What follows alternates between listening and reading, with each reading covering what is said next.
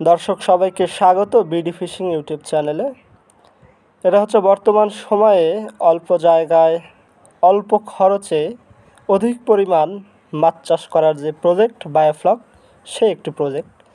তবে এখানে এখন আর মাছ চাষ হয় না।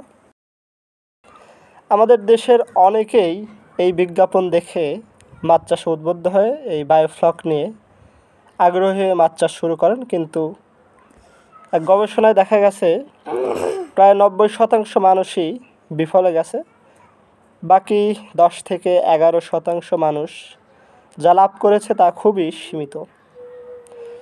আসলে ইউটিউব কিংবা ফেসবুক বিভিন্ন সামাজিক যোগাযোগ মাধ্যমে বিভিন্ন ধরনের চটকদার, বিজ্ঞাপন অথবা কথাবার্তা শুনে অনেকেই সঠিকভাবে প্রশিক্ষণ না নিয়ে এই প্রজেক্টটি শুরু করেন, তবে তারা কিন্তু সফল হয়নি।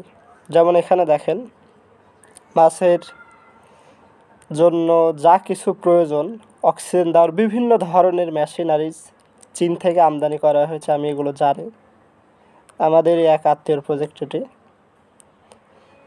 জেনারেটর সকল কিছু এখানে ছিল, কিন্তু তারপরেও সফলতা আসেনি। এর পেছনে যেটা কারণ রয়েছে, সেটা হচ্ছে যে যতবারই এখানে বিভিন্নভাবে পোনা ছাড়া হয়েছে, বেশিরভাগ সময় পোনাগুলো মারা যায়। তো কেন জানি আমাদের দেশের সঙ্গে এই বায়োফ্লক প্রজেক্টটা খাপ খাচ্ছে না, কিংবা আরও অন্যান্য অনেক সমস্যা রয়েছে।